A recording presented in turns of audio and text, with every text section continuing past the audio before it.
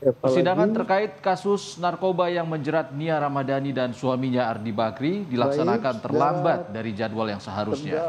Jadwal sidang pukul 10 baru dapat dilaksanakan pada pukul 12 lewat 30 menit waktu Indonesia Barat. Nia dan Ardi beralasan datang terlambat karena sakit. Agenda sidang hari ini adalah pembacaan dakwaan.